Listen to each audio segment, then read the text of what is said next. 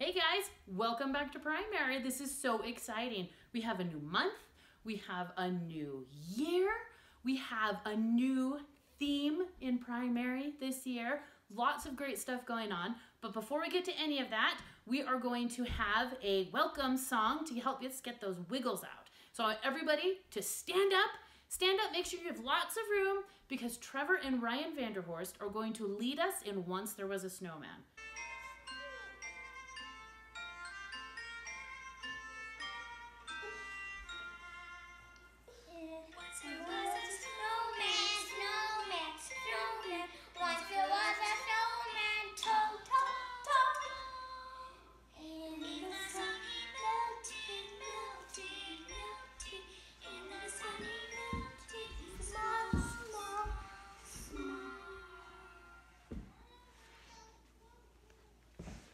All right, great job, guys. Okay, before we head into our lesson, we just have one more thing we have to do. We are going to sing the first article of faith.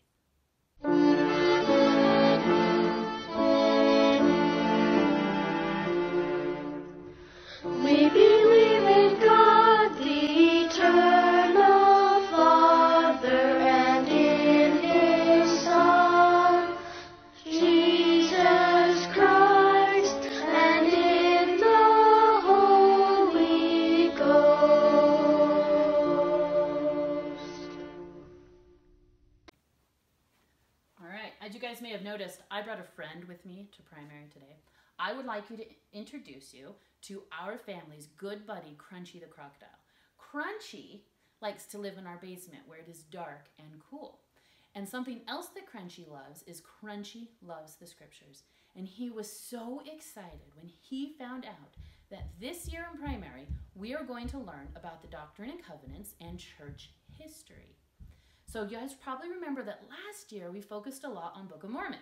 And the year before that, we focused a lot on the New Testament. So this year, we get to focus on Doctrine and Covenants and church history. Okay? And for our lesson today, we are going to learn about four themes that come up in the Doctrine and Covenants that are pretty important ones. Okay? And we don't have much time, so we only get to do four. All right? And we have some special primary friends who have agreed to help us out with our lesson today by reading some scriptures. So, the very first thing that we are going to talk about is this picture. Okay, I want everybody to look at this picture. Hopefully you can see it. Okay. This is a picture of Joseph Smith's first vision. And I'm sure most of you know the story really well of Joseph Smith's first vision. Okay, Rachel Halverson is going to read some scripture verses out of the Joseph Smith history that talk about Joseph's first vision. I knelt down, down and began to offer up the desires of my heart to God. I saw a pillar of light exactly over my head above the brightness of the sun, which descended gradually until it fell upon me. I saw two personages whose brightness and glory defy all description, standing above me in the air. One of them called, one of them spake unto me, calling me by name. Thank you, Rachel. Okay, here's something I want to point out about Joseph Smith's first vision. One of, I think, the most important lessons that we can learn from reading the story of Joseph's vision is that God hears each of us individually and He knows us. He knows us by name and He hears our prayers. So, we are going to introduce a brand new song for you guys to learn this year. The song is called My Own Sacred Grove. Now, I want you to listen very carefully because this is important. There are two ways that you can practice this song at home. The first way is just to come back to my video, the January 3rd video, to rewatch the song over and over and over. The second way is if you go to the description of this video, there's going to be a link. And if you click on that link, it will take you directly to the video so you can watch it without having to fast forward through a bunch of stuff. All right, now I want you guys to practice this song a lot. Try and come back and practice it as much as you can so that you can learn it really well. So that when we all get back together at church and see each other face to face again, whenever that might be, then we will all know the song and we won't have to practice it so much. The song is called My Own Sacred Grove, and here it is.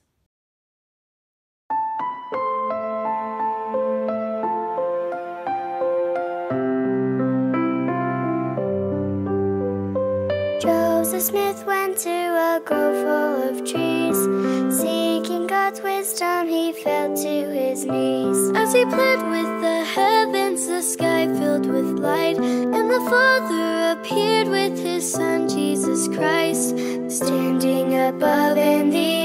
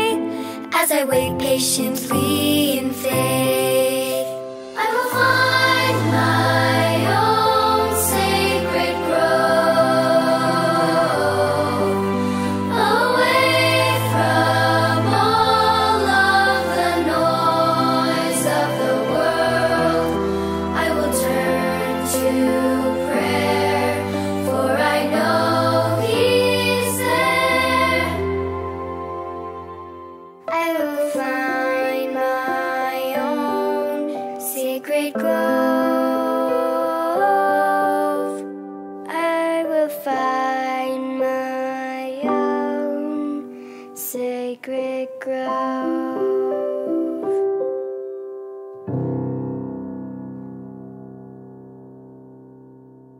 Okay, the next theme we're going to talk about is the restoration of the priesthood. And we have Eli Cope, who is going to read a scripture in Doctrine and Covenants about the restoration of the Aaronic priesthood. Doctrine and Covenants 13.1 Upon you, my fellow servants, in the name of Messiah, I confer the priesthood of Aaron, and this shall never be taken again from the earth. Thanks, Eli. Okay, so if you look at my pictures right here, all right, this picture is a picture of when the Aaronic priesthood was restored. And this is John the Baptist, and he is giving Oliver Cowdery and Joseph Smith the Aaronic priesthood. Then, sometime later, Peter, James, and John came and they gave Oliver Cowdery and Joseph Smith the Melchizedek priesthood. Okay, the restoration of the priesthood in the latter days was incredibly important because the priesthood is the authority to act in God's name, doing things that God wants us to do. And without the priesthood, we would not be able to have temple blessings. We wouldn't be able to take the sacrament. We wouldn't be able to get baptized. We wouldn't be able to do a lot of the things or make a lot of the sacred covenants that we have the privilege of making today if we didn't have the priesthood. Okay? The song we're going to sing is called The Priesthood is Restored, and most of you probably don't actually know this song, and that's okay. If you want to try and sing along, then go ahead and do it. But don't worry too much if you don't know the song at all.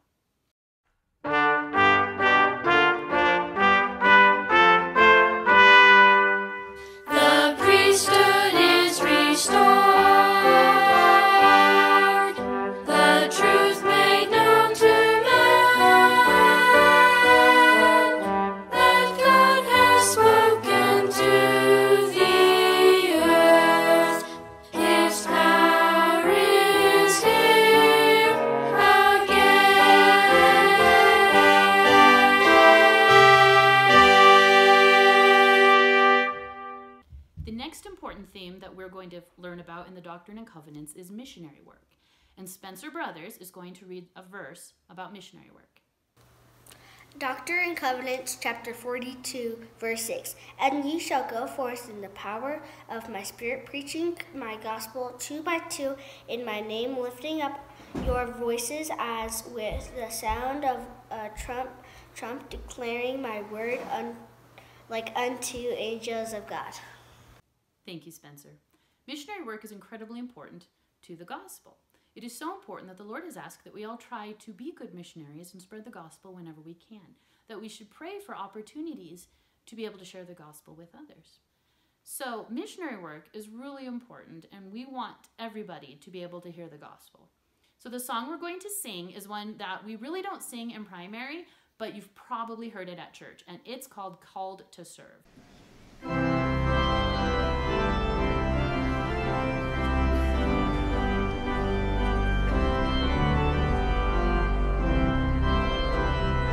This is the 186th Semi Annual General Conference of The Church of Jesus Christ of Latter day Saints.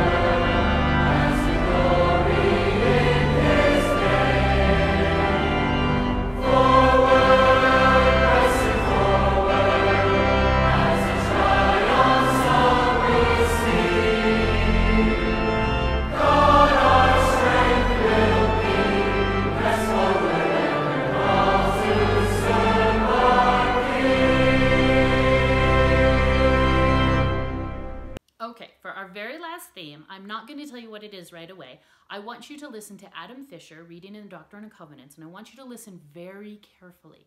And I want you to see if you can figure out what this scripture is about. Organize yourselves, prepare every needful thing, and establish a house, even a house of prayer, a house of fasting, a house of faith, a house of learning, a house of glory, a house of order, a house of God. Thank you, Adam. Okay, if you're not quite sure what Adam was reading about, then go ahead and rewind the video just a little bit and listen to him read the scripture again and see if you can figure out what it's about, okay? But if you're ready, then keep going. Okay, does anybody know what that scripture was about? Can you tell me? Okay, say it a little bit louder. I don't think I heard you.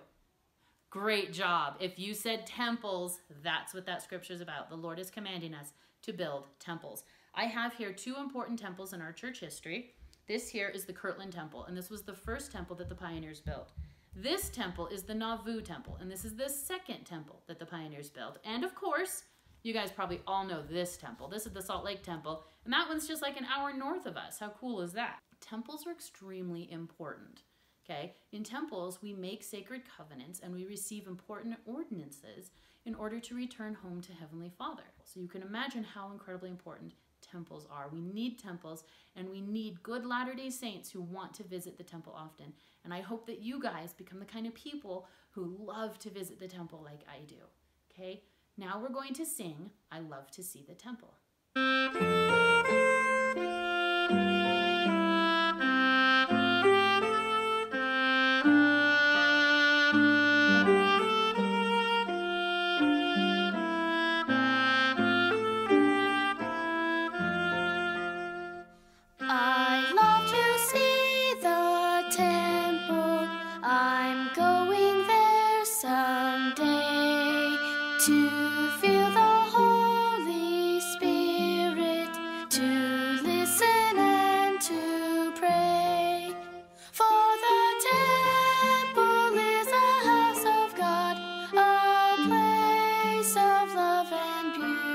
Beauty.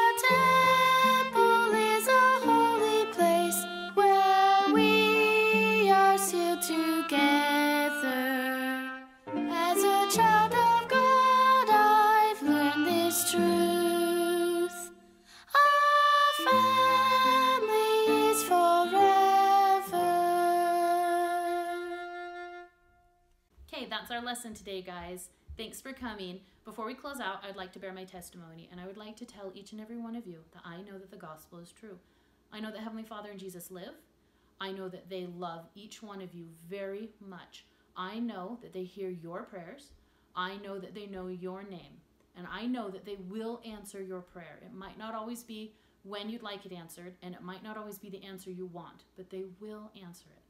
I have a firm testimony that Joseph Smith was the prophet of the restoration, that he translated the Book of Mormon, and that through him the Lord restored his church to the earth again.